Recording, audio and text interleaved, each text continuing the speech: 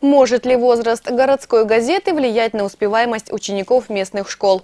Опыт редакции Харцизского еженедельника «Родина» показывает, что это возможно. В минувшую пятницу в Центральной городской библиотеке состоялось подведение итогов открытого ежегодного конкурса «Горячая пятерка». 81 год Родине, 81 пятерка. Именно столько отличных отметок по условиям конкурса нужно было заработать харцизским школьникам за максимально короткий срок. Мы создали три номинации. Это 1-4 класс, 5-9, 10-11, лицеи, гимназии и техникумы. И вот э, победитель в каждой номинации всегда только один. И кто первый принесет дневник с оценками, тот и победитель. Ну, в целом, конечно, мы еще и проверяли по журналам. То есть оценки в дневнике должны были соответствовать оценкам в журнале.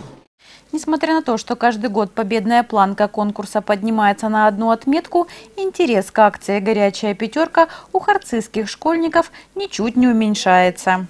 Скорость набора этих в этом году 81 пятерки просто неимоверная. То есть первый победитель пришел практически в конце сентября.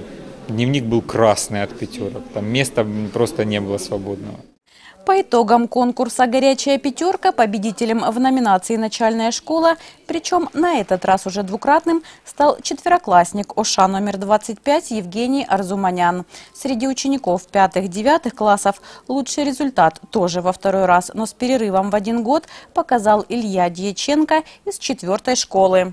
Я узнала о конкурсе в газете и, ну, решил поучаствовать. Знали учителя, поэтому мне не сложно было.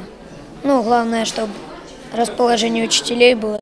А вот самой отличной отличницей из старшеклассников признана Антонина Кобелева из пятой школы. Участвую в этом конкурсе еще со второго класса. Все время там в шаге, буквально не хватало пары пятерок. Вот, в этом году уже как бы получилось. Нужно сказать, что за 7 лет проведения акции конкурс обзавелся солидными спонсорами. В этом году за 81 пятерку в дневнике ребята получили и съедобные подарки, и наборы канцелярских принадлежностей, и подарочные сертификаты на посещение кафе, и, разумеется, денежный приз – 2000 рублей от редакции газеты «Родина».